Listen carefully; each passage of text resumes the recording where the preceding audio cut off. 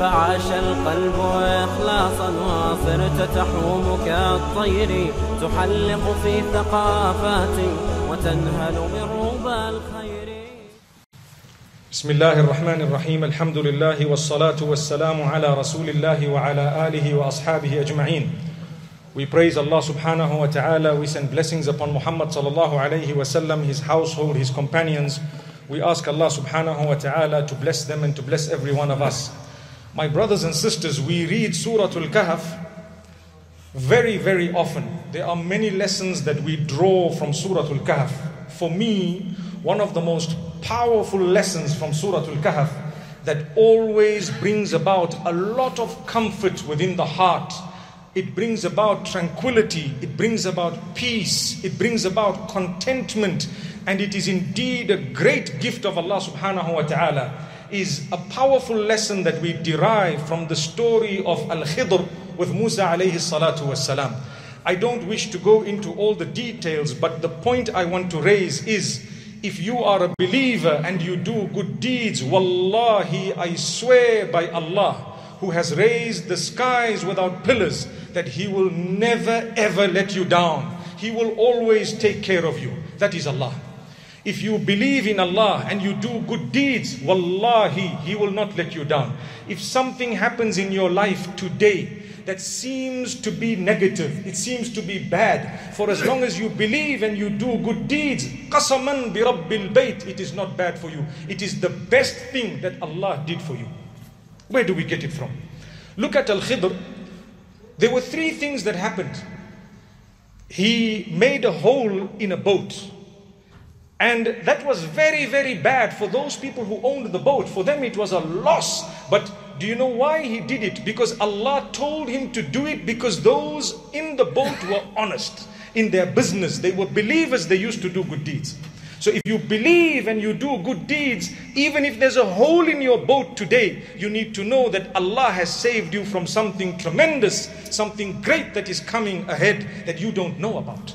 If you lost your job today, it's because Allah wants to save you from something great. If you have lost your job, you lost money, you made a loss today, it's a hole in your boat. If you have yaqeen and conviction in Allah, qasaman bi rabbil bayt, it's not bad for you. It's the best thing that happened to you. Just bear patience, wait for a bit. Allah subhanahu wa ta'ala says, أما السفينة فكانت لمساكين يعملون في البحر as for that boat that the hole was made in, it belonged to some poor people who were working very, very hard upon that water, ferrying people and goods from point A to point B. They were honest. Allah says, وكان وراءهم ملك يأخذ كل سفينة غصبا Further downstream, there was a certain tyrant ruler who was taking away all the good boats. So Allah says, We don't want the boat of these beautiful people to go away.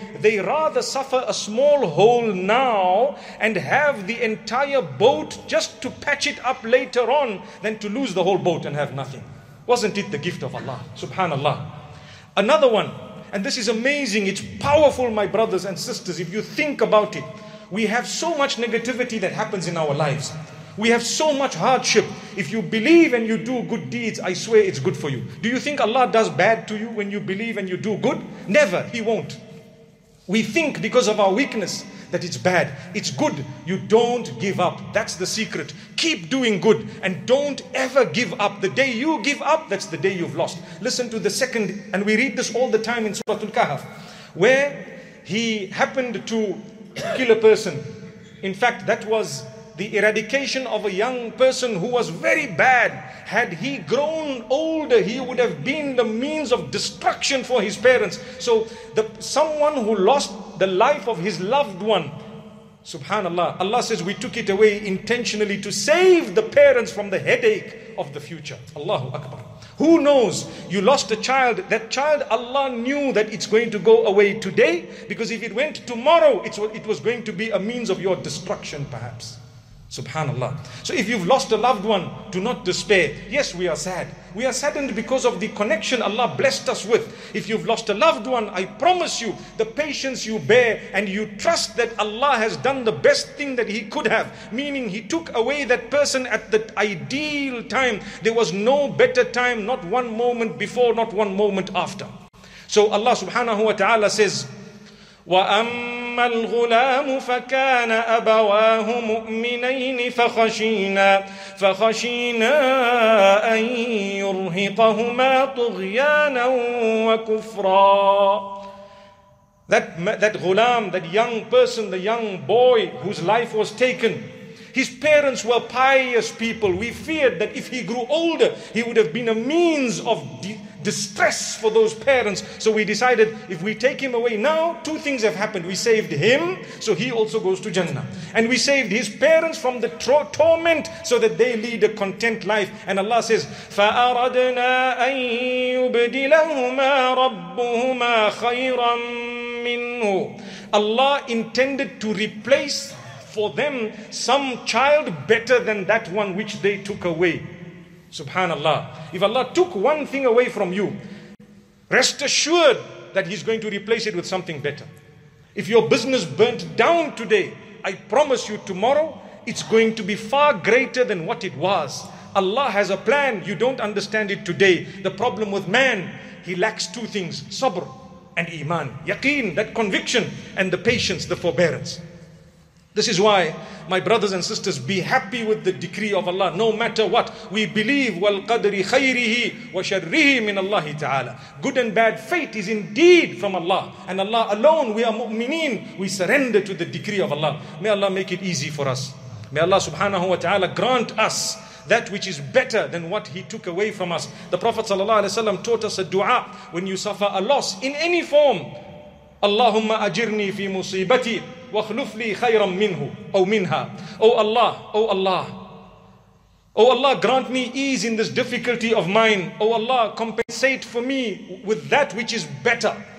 Make a compensation. The loss that I have suffered, Ya Allah, grant me something in return that is better than it. And oh Allah, make it easy for me. May Allah subhanahu wa ta'ala grant us goodness. The third, and I'm spending a moment with this because wallahi, it is something we read every week but we don't think about. We read it so often we don't think this surah is meant to provide contentment and calmness to the heart. You are supposed to be building your iman. We read the story of Al Khidr. The third one was the, the wall that was made. And Allah subhanahu wa ta'ala says, وَأَمَّا الْجِدَارُ فكان لغلامين يتيمين في المدينة وكان تحته كنز لهما وَكَانَ أَبُوهُمَا صَالِحًا The effect of the good deeds of parents will actually have the positive impact even on the children. Subhanallah. If you think about it, you as a parent, if you do good deeds and you believe in Allah, wallahi, He won't even let down your children. The next generation, He will take care of them. Why? You took care of yourself. I took care of my relationship with Allah. Allah took care of my children, subhanallah. Look at what Allah says. That wall that was falling down, underneath it there was a treasure that was left behind by some pious worshippers of ours, whose children were yatim, they were orphans. Had that fallen down, perhaps people may have seen the treasure and usurped it. So Allah says, We inspired Al Khidr to straighten it, even though they gave him nothing in return, subhanallah. Look at how Allah looked after the next generation because of the goodness and the belief and the good deeds of the parents. Don't we learn what I said right at the beginning that wallahi, if you believe and do good deeds, nothing you need to worry about. Whatever's happening in your life today, it's the best thing that could have happened. Be happy, go home, smile, and thank Allah for the problems you have. Because if Allah chose other problems, there would have been something that you would not have managed. But because you believe and you do good deeds, I swear it's the best thing when Allah occupies you with something. You need to thank Allah subhanahu wa ta'ala. Never forget Him. Like I say, never lose hope in the mercy of Allah. That for me is the most powerful point that comes out of Surah Al Kahf. It brings about so much contentment when I think to myself, whatever is going on across the globe, Allah, the one who made you and I, is in absolute control. There's no way that I doubt that. And because I've tried my best to seek Allah's forgiveness where I faltered and to do good deeds wherever and however I can, I have conviction in my heart that Lord will not let me down. May Allah let that happen to every one of us. May Allah subhanahu wa ta'ala grant us goodness. However, at the end of Surah Al-Kahf, there is a warning where Allah subhanahu wa ta'ala speaks about those who are the biggest losers in this world. They do a lot of deeds, but these deeds are wasted. قل هل ننبئكم بالأخسرين أعمالا Should we inform you of those who are the biggest losers in terms of their deeds? They toil, they work hard, but their deeds are wasted. Do you know why?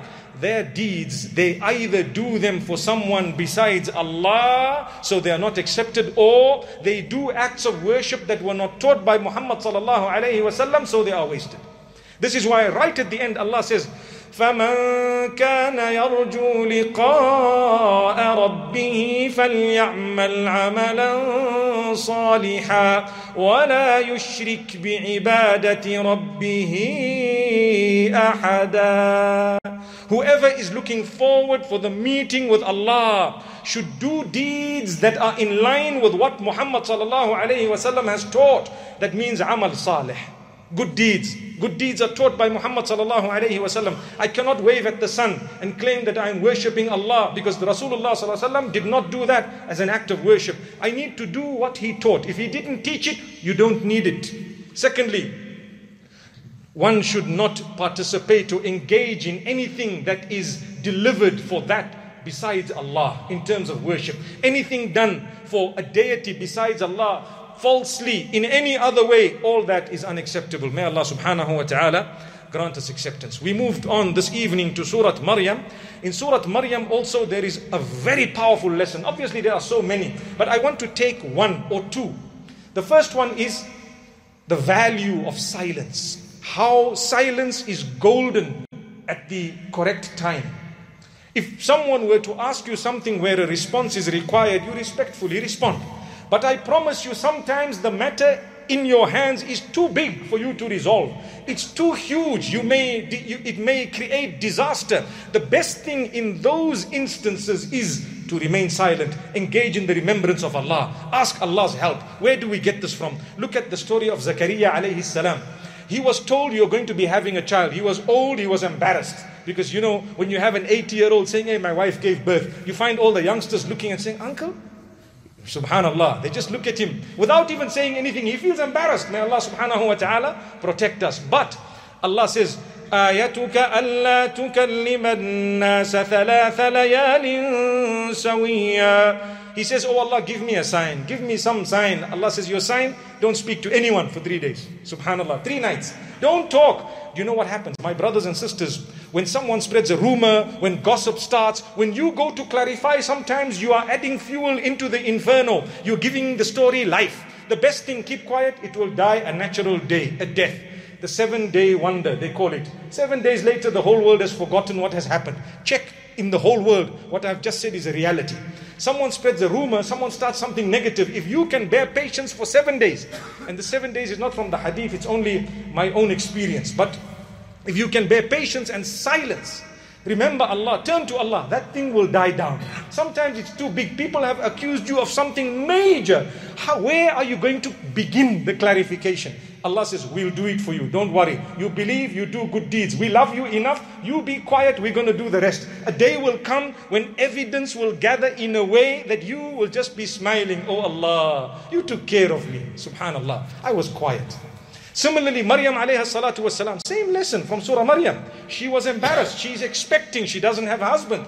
She says to Allah, What should I do? Allah says, فقولي إني نذرت للرحمن صوما فلن أكلم اليوم إنسيا If you see any human being, just say, I'm not speaking. To any human being, I have sworn, I have taken a vow. For the sake of Allah, I'm not going to talk to anyone. Today I'm fasting in terms of speech. Why? It was too big. What is she going to say? Where is she going to start off? They would accuse her, and they did, of so many things. Allah cleared her. When? When this child was born, he spoke. قَالَ إِنِّي عَبْدُ اللَّهِ Jesus, may peace be upon him, Isa alayhi salam. He spoke, he says, I am the slave of Allah. And the matter was clarified. I hope we have drawn that lesson. Then the last verse of Surah Maryam. Allah says, and this is also another powerful verse. إن الذين آمنوا وعملوا الصالحات سيجعل لهم الرحمن ودا Those who believe and do good deeds. Look, the same two things have come back again. If you believe and you do good deeds, Allah says, we will create for you love. Love. What type of love? The other good people will recognize you and love you. That's what it is. The good people will recognize you and love you. People will take to you. Why? Because you are good and you do good deeds. The evil, they might not like you. Because why? They don't have the eyes with which to see. When Abu Jahl saw Muhammad sallallahu alayhi wasallam, he had evil in his heart. His heart was filled with jealousy and envy. This man is going to take over. Therefore, when he looked at Nabi sallallahu alayhi wasallam, he did not have love in his heart. But Allah says, if you believe and you do good deeds, you know, like Paul, subhanallah, what happens? In our language, they attract, subhanallah. Those that are similar, birds of a feather flock together. You are good, you recognize one who is good. إِنَّمَا يَعْرِفُ ذَا الْفَضْلِ مِنَ النَّاسِ ذَوُوهُ In the Arabic language, the saying is, indeed a person with virtue is recognized by others with a similar virtue. They know, subhanallah, this person is really good. It takes one with nur to recognize nur in another person as dark as they may be in complexion. Subhanallah. May Allah grant us ease. We move on to Surah Taha. That surah, the beginning, the opening verses, every time they remind us of Umar ibn Khattab radiallahu. We know he was the enemy of Islam. He was out to get Muhammad sallallahu alayhi wasallam to eradicate him. And because the words of Allah fell upon a chord within his heart of softness. Allah guided him. How many verses? Three to four. طه ما أنزلنا عليك القرآن لتشقى Beautiful verses Allah says we revealed this Quran not in order for it to be a source of your distress or uneasiness or discomfort no many people think Islam has a lot of rules and regulations what should we do The reality is every rule is a blessing. It's not there to make your life a mess. It's there to create ease. When Umar ibn al-Khattab radiallahu anhu heard or read just a few verses, he started crying. His heart trembled. He turned to the deen, never ever to go back to his bad ways again. I ask you, my brothers and sisters, how many verses of the Quran have you read? Have they ever impacted upon you? Yet you call yourself a mu'min, a believer. May Allah make us from those whom, when we read the Quran, our hair stands. We get goosebumps. We are moved. It's the word of Allah. If the word of Allah is not going to move you, nothing on earth will ever move you. May Allah subhanahu wa ta'ala grant us the understanding. And I want to end off with a beautiful verse, seeing that time is not on our side. You know, when Musa alayhi salam was sent to the Pharaoh, he was told by Allah that, you know, you and your brother, when you go to speak to this Pharaoh, you must speak to him in the most polite way, very humbly, using soft terminology and words. Perhaps when you do that, he might bear in mind, he might remember, he might fear Allah, he might come back. So Allah says, don't speak harsh. To who? To the Pharaoh. Who was the Pharaoh? Fir'aun. He was the worst on the earth. Allah is telling Musa, alayhi salam, who's the best on earth, to say, when you go to the worst, speak very nicely, politely. Allahu Akbar. Allahu Akbar. فقولا له قولا لينا لعله يتذكر أو يخشى Speak to them, both of you. Speak to him in a beautiful way with soft words. Perhaps it might move him, it might change him, etc. I ask you, my brothers and sisters, when we speak to our mothers, our fathers, our brothers, our blood relatives, our in laws, our family members, our community members, what type of words do we use? They are not as bad as the Pharaoh. Never. No one existing today can be worse than the Pharaoh of that time. And none of us can ever be better than Musa or Moses, may peace be upon him. So we are supposed to be speaking with even softer words because that is how the matter will be resolved. Perhaps if Allah has written guidance and solution. But you, you've solved your problem. Why? Because you fulfilled a duty unto Allah of speaking with kind, beautiful words. May Allah make me conscious of the words that come out of my mouth. And may Allah make every one of us conscious of the words that come out of our mouths. We speak to our wives, our husbands, our children, our parents, whoever it is, speak with the best words. They are not pharaohs, they are very good. They are brilliant compared to the pharaoh. Subhanallah, no comparison. So speak kindly, that's a lesson. And I end by saying, towards the end, we heard a verse where Allah says, وإني لغفار لمن تاب وآمن وعمل صالحا ثم اهتدى Whoever does, whoever believes and does good deeds, they've sought forgiveness. We will always forgive them constantly. You know, the term used is ghaffar. Ghaffar doesn't mean the one who forgives. The one who keeps on forgiving does not get tired to forgive. That's the meaning of ghaffar. Ghafur means he forgave once, He forgave you. Abdul Ghafur, the worshipper of the most merciful. That is correct. It is also the name of Allah. There's nothing wrong with it. It is filled with mercy. But Allah is showing you, wait, my mercy is greater. When we sometimes commit a sin, we seek forgiveness. We commit the same sin, we seek forgiveness. We commit the same sin, we seek forgiveness. Allah says, for as long as you are genuine when you seek forgiveness, I don't mind what has happened. I will keep on forgiving you. So do not lose hope. Don't stop seeking forgiveness. I will go for it right up to the last breath. Subhanallah. So that's a verse that instills a lot of hope. These are just some of the beautiful verses of the surah. أقول قولي هذا وصلى الله وسلم وبارك على نبينا محمد سبحان الله بحمده سبحانك اللهم بحمدك أشهد أن لا إله إلا أنت نستغفرك ونتوب إليك